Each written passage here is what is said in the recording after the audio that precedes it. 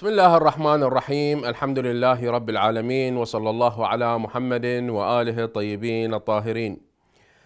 السلام عليكم ورحمه الله وبركاته سادتي مشاهدي قناه المهدي الفضائيه وهذه الحلقة الجديده من برنامجكم بشارات الهيه.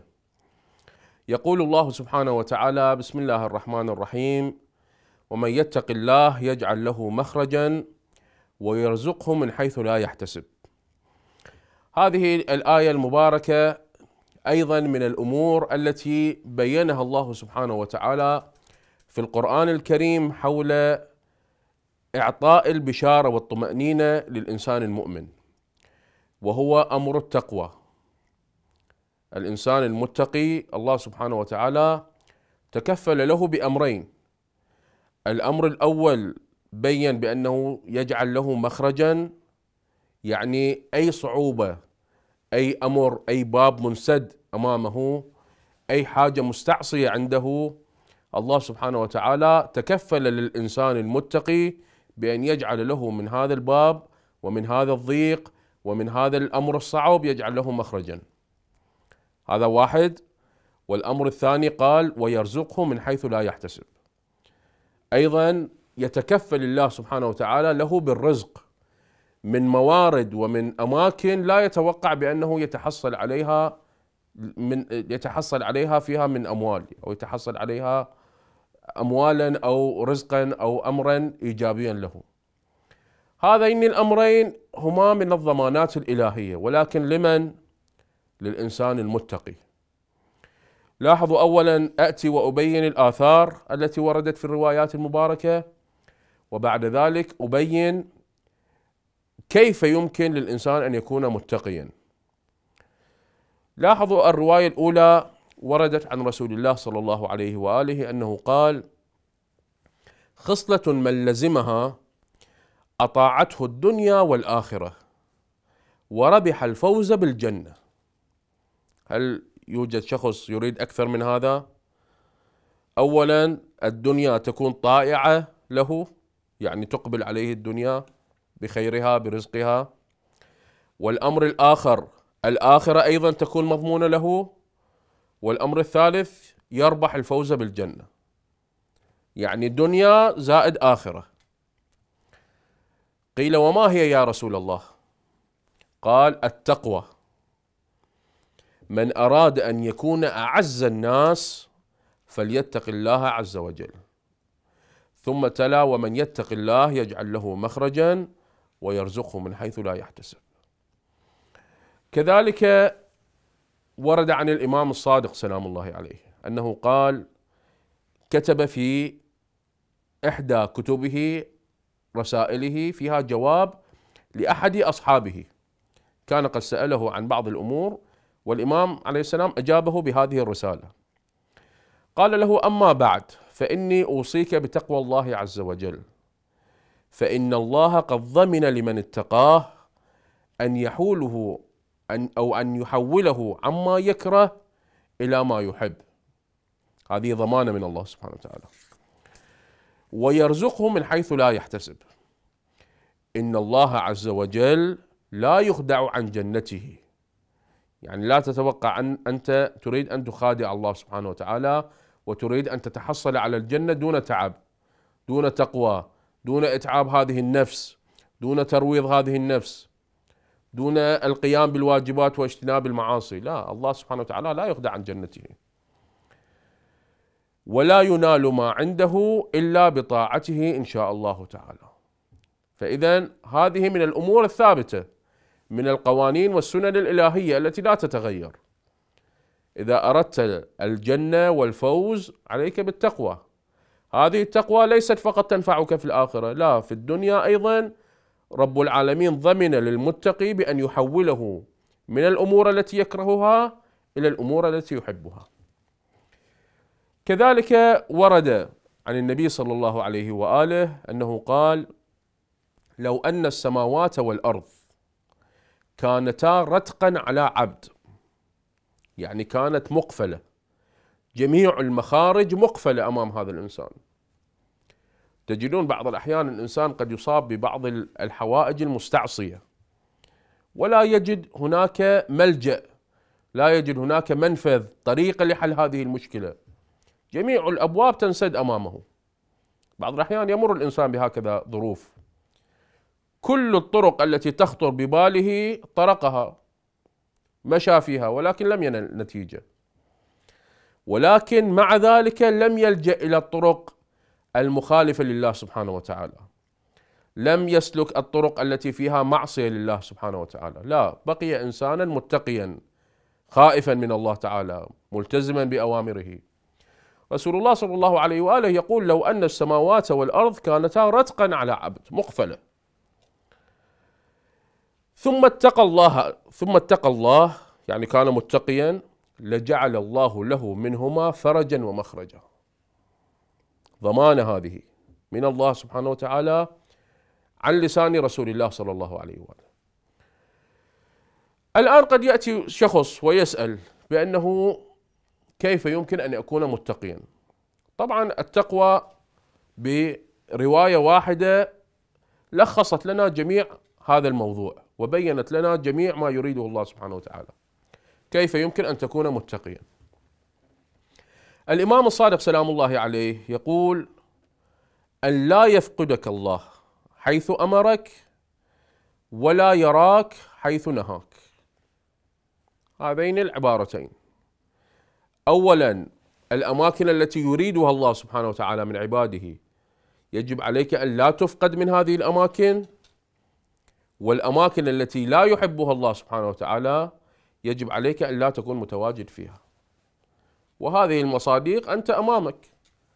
انت فكر في عقلك وأعرض هذه الأماكن التي أنت تتواجد فيها تكون موجود حاضر فيها والأماكن التي لا تكون متواجد فيها. وأعرض هذه الرواية على هذه الأماكن. سوف تجد بأنه هل هذه الأماكن هي من الأماكن التي يجب أن تكون متواجد فيها أو لا. هذه الأعمال التي أنت تقوم بها هذه من الأعمال التي يحبها الله سبحانه وتعالى أو لا؟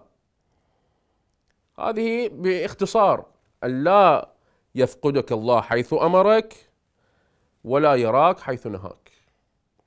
الله سبحانه وتعالى يحب أن يراك في المساجد يراك في الحسينيات يراك في زيارة أهل البيت عليهم السلام يراك في صلة الرحم يراك في عمل الخير يراك في بر الوالدين. احرص على أن لا يفقدك الله في هذه الأماكن في هذه الأزمنة في هذه المواطن. والله سبحانه وتعالى لا يحب مجالس البطالين ولا يحب مجالس العاصين ولا يحب مجالس ال ال الذين يأخذون غيبة الناس الذين يكذبون الذين يستهزئون الذين يطعنون بأعراض المؤمنين. أيضا اعلم بأنه هل أنت متواجد في هذه الأماكن أو لا؟ هذه باختصار لخصها الإمام الصادق سلام الله عليه. طبعا التقوى هو ليس امرا عاديا وبسيطا. بالإضافة على هذه الآثار التي ذكرناها وبالإضافة إلى هذه الأمور بأنه يجعل الله له مخرجا ويرزقه من حيث لا يحتسب إلا أن التقوى في الآيات المباركة في القرآن الكريم في الروايات الشريفة هو شرط قبول الأعمال. الله سبحانه وتعالى لا يتقبل الأعمال من عباده إلا المتقين. سأذكر لكم هذه القضية اللطيفة التي حدثت في زمن الإمام الصادق سلام الله عليه والتي تشير إلى هذا المعنى لاحظوا هذه الرواية وردت عن الإمام الحسن العسكري سلام الله عليه أنه قال عن آبائه وينقل هذه الرواية عن الإمام الصادق سلام الله عليه ويبين بأن هذه الرواية حدثت في زمن الإمام الصادق سلام الله عليه. أن الإمام قال الإمام الصادق قال إن من اتبع هواه وأعجب برأيه كان كرجل سمعت غثاء العامة تعظمه وتصفه. يعني غالبية الناس يقولون بأنه فلان عالم فلان فقيه يفهم في الأحاديث يعطي الأحكام الشرعية.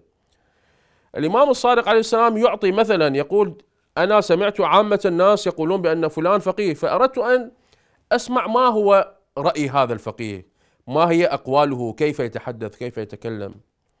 فيعطي ويأتي ويبين القضية التي حدثت بينه وبين هذا الشخص. قصة جميلة جدا وفيها عبرة على أن كيف أن التقوى هو شرط قبول الأعمال. فأحببت لقاءه من حيث لا تعرفني لا تعرفني لأنظر مقداره ومحله. يعني اخترت طريقة أجلس وأستمع إلى كلام هذا الشخص وأرى تصرفاتي دون أن يعرفني. فرأيته قد أحدق به كثير من غثاء العامة.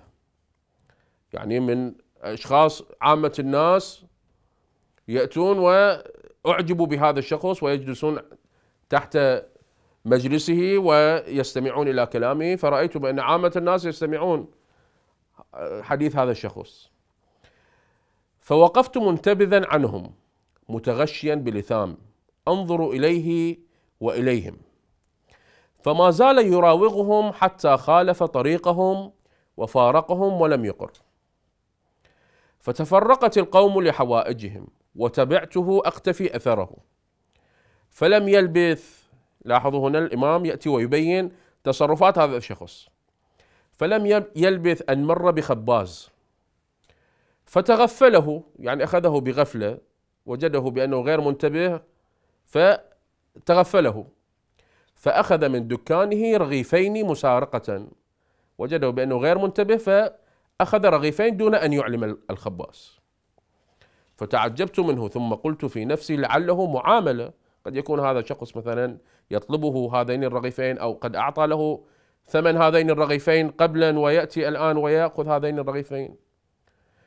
ثم مر بعده بصاحب رمان فما زال به حتى تغفله أيضا. فأخذ من عنده رمانتين مسارقة نفس نفس الفعل.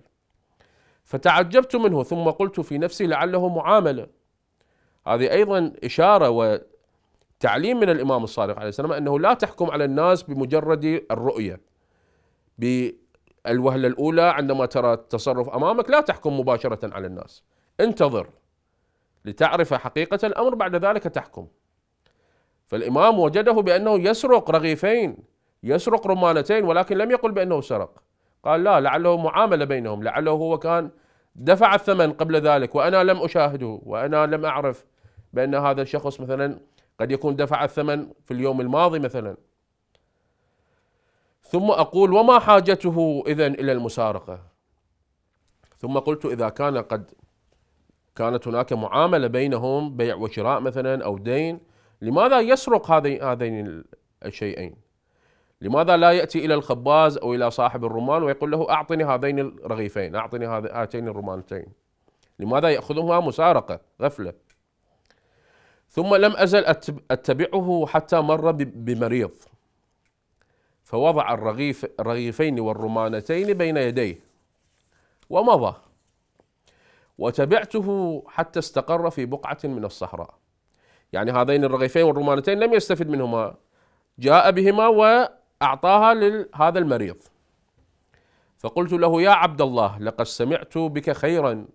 الناس كلهم يعظمونك وأحببت لقاءك فلقيتك ولكني رأيت منك ما شغل قلبي.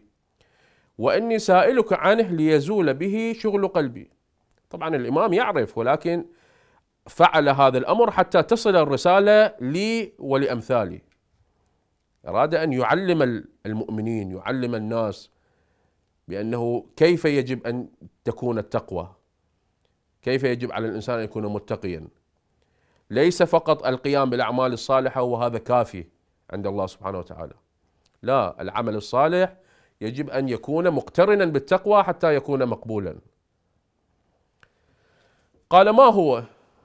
قلت رأيتك مررت بخباز وسرقت منه رغيفين ثم بصاحب الرمان وسرقت منه رمانتين. قال فقال لي قبل كل شيء حدثني من أنت؟ قلت رجل من ولد آدم من أمة محمد صلى الله عليه وآله. قال حدثني من أنت؟ قلت رجل من أهل بيت رسول الله صلى الله عليه وآله. قال أين بلدك؟ قلت المدينة. قلت لعلك جعفر بن محمد بن علي بن الحسين بن علي بن أبي طالب صلوات الله عليهم. عرفه مباشرة. قلت بلى. فقال لي فما ينفعك شرف أصلك مع جهلك بما شرفت به وتركت علم جدك وأبيك؟ لئلا تنكر ما يجب أن يحمد ويمدح فاعله. قلت وما هو؟ يعني بدأ ويستنكر على الإمام بأنك, بأنك لم تتعلم علوم آبائك والعياذ بالله. لذلك أنت جئت وتسألني عن هذه المسألة. قال القرآن كتاب الله. يعني أنت لم تعرف القرآن لذلك سألتني. إذا كنت تعرف القرآن لم تسألني والعياذ بالله. يعلم الإمام الصادق الذي نزل القرآن في بيته يعلمه بكتاب الله. هذه حقيقة من الأمور المضحكة. قلت وما الذي جهلت منه؟ قال قول الله عز وجل من جاء بالحسنة فله عشر أمثالها ومن جاء بالسيئة فلا يجزى إلا مثلها. وإني لما سرقت سرقت الرغيفين كانت كانت سيئتين. الله يقول السيئة تجازى بمثلها يعني تكتب واحدة والحسنة الواحدة تكتب بعشرة أمثالها بعشر حسنات. فأنا عندما سرقت الرغيفين كانت سيئتين. ولما سرقت الرمانتين كانت سيئتين فهذه أربع سيئات. فلما تصدقت بكل واحد منهما كان لي بهما أربعين حسنة على اعتبار أن الحسنة بعشر أمثالها. فانتقص من أربعين حسنة أربعا بأربع بقي لي ست وثلاثون حسنة. لاحظوا هذا التزييف الشيطاني هذه المعادلة الشيطانية. قلت ثكلتك أمك. أنت الجاهل بكتاب الله. أما سمعت الله يقول إنما يتقبل الله من المتقين؟ أنت سمعت هذه الآية؟ ولم تسمع هذه الآية؟ الله تعالى يقول إنما يتقبل الله من المتقين. إنك لما سرقت الرغيفين كانت سيئتين. ولما سرقت الرمانتين كانت أيضا سيئتين. فلما دفعتهما دفعتهما إلى غير صاحبهما بغير أمر صاحبهما يعني بغير أمر الخباز وصاحب الرمان كنت إنما أضفت أربع سيئات إلى أربع سيئات. ولم تضف أربعين حسنة إلى أربع سيئات. هذه هي المعادلة الحقيقية. فجعل يلاحظني فانصرف وتركته. هكذا يبين الإمام الصادق سلام الله عليه بأن الشرط في قبول الأعمال الصالحة هو أن يكون الإنسان قد جاء بها عن تقوى إنما يتقبل الله من المتقين. نسأل من الله سبحانه وتعالى أن نكون من المتقين في هذه الحياة ومن الفائزين بشفاعة محمد وآله الطاهرين في الآخرة والحمد لله رب العالمين وصلى الله على محمد وآله الطيبين الطاهرين.